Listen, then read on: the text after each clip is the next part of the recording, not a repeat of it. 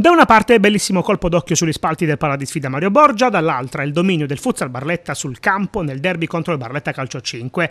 La terza stracittadina della storia finisce come le altre due, cioè con la vittoria dei biancorossi di Leo Ferrazzano, che esibiscono una prestazione di notevole spessore caratteriale e si rivelano più cinici in zona gol rispetto al quintetto allenato da Antonio Di Benedetto, che gioca una discreta parte centrale della prima frazione, ma poi non riesce a cambiare passo nel corso della ripresa. Il futsal alla prima vittoria casalinga casalinga in questo campionato va in gol dopo pochi secondi con Falco, poi raddoppia con un sontuoso assolo di Chiariello. Sono loro due i trascinatori della formazione di Ferrazzano.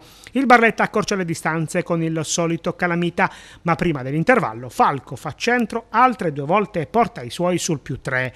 Non cambia lo spartito del match nella ripresa. Dopo il botta e risposta tra Chiariello e Calamita, Falco chiude in anticipo i conti con il quarto centro personale. Nel finale poi Boraccino fissa il punteggio sul definitivo 7 a 2. Il risultato ci paga di tutti gli sforzi che avevamo fatto, l'avevamo preparata esattamente come poi l'abbiamo giocata.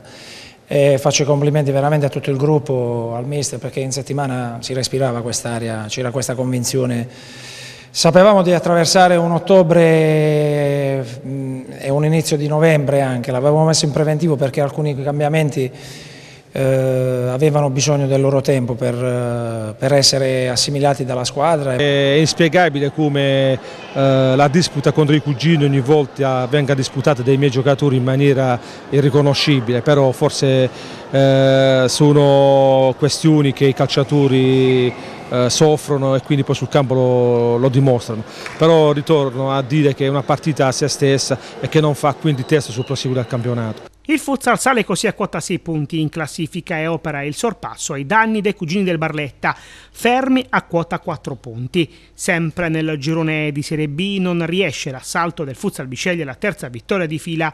Gli uomini di Francesco Ventura portano comunque a casa un punto dalla trasferta di Venafro. Nel 4 a 4 finale contro i Molisani c'è spazio per la doppietta di Pedone e per le reti di Ferreira ed Angelo Cassanelli, quest'ultimo autore del gol del definitivo pareggio. Futsal Bisceglie sceglie a 8 punti in classifica.